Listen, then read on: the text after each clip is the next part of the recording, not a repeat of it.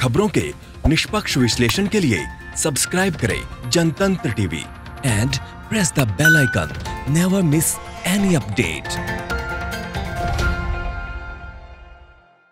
Shaheen Bagh में CA विरोधी प्रदर्शनकारियों ने प्रधानमंत्री नरेंद्र मोदी को वहाँ आने और उनके साथ वैलेंटाइन डे मनाने का न्योता भेजा है। कार्ड में प्रदर्शनकारियों ने लिखा कि प्रधानमंत्री मोदी या गृह मंत्री अमित शाह आए और हमसे बात करें। सीए को लेकर पिछले साल 15 दिसंबर से विरोध कर रहे प्रदर्शनकारी मोदी के लिए प्यार वाला एक गीत और एक सरप्राइज़ भेंट भी देंगे।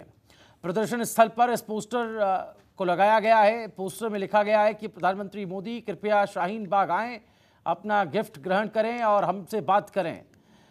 शाहीन बाग में एक प्रदर्शनकारी ने कहा, चाहे प्रधानमंत्री मोदी या गृह मंत्री अमित शाह आए या कोई और वो आ सकते हैं और हमसे बात करें। अगर वो हमें समझा देंगे कि जो भी हो रहा है, वो संविधान के खिलाफ नहीं है तो हम अपना ये प्रदर्शन खत्म कर देंगे।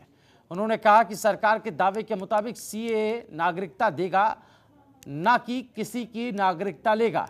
लेकिन कोई भी ये नहीं बता रहा कि ये देश के लिए मददगार कैसे होगा। तो वैलेंटाइन डे मनाने के लिए पीएम को न्योता भेजा गया शाहीन बाग की तरफ़ से।